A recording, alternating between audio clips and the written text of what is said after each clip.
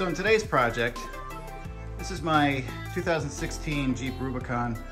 And I changed the name of it to match the accent of the vehicle. I have the factory rims and what I plan on doing is painting them blue. I'm gonna replace them eventually, but for now, I'm gonna paint it blue. Also this tweak here, I've added the lit door sills and the interior dash lighting, which is very simple to do. If you would like a tutorial on how to do it, I could probably post it into it. But I'm going to paint these wheels blue, so let's get to it. This is the before, at least the driver's side. The first thing I'm doing is taping it up.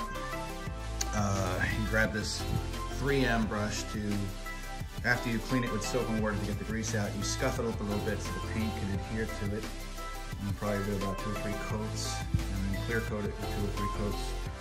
But this is the process so far. Uh, I put five coats of clear on it and it seems to have come out pretty good. It is a darker blue and stupid drips that did show up on it, but this is the spare tire I wanted to work on that first. So we'll see. So here is now with the tape off and I do have some spills that did come out. So now I'm gonna have to take that off with acetone but I should be able to get that out okay. That's how it looks now. Okay, so what saved a lot of time here was being able to reuse the tire cover, and this time I covered the entire tire because I got some paint on the exterior wall. I'll take it off with acetone, but you might just want to save yourself the trouble. I don't have the best painting skills in the world, but this is how I've been doing it. Back and forth in the star pattern of the wheel.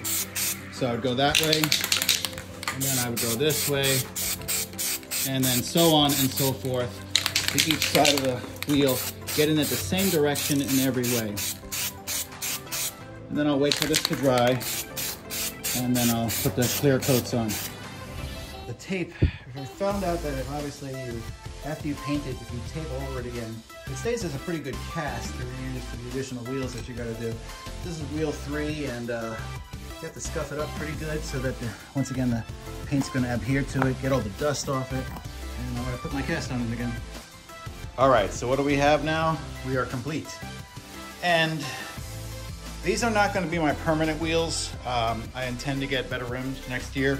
So I didn't prime primer these wheels. If you use a white or gray primer, then you would actually get the factory color to match. As you can see, painting this on dark, Came out as a darker blue, but initially this blue is supposed to be the exact factory color.